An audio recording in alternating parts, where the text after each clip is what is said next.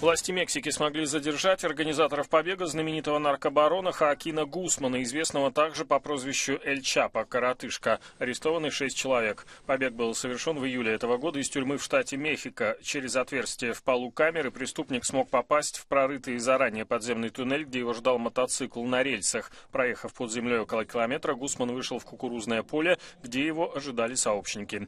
Мексиканская полиция несколько раз в течение последних месяцев была близка к поимке Эль Чапа, Однако всякий раз ему удавалось скрыться. Ранее по делу об организации побега уже были задержаны адвокат наркоторговца, а также чиновники из системы исправительных учреждений Мексики. Хакин Гусман – один из богатейших людей планеты. Считается, что его картель контролирует весь рынок кокаина в США, а личное состояние перевалило за миллиард долларов.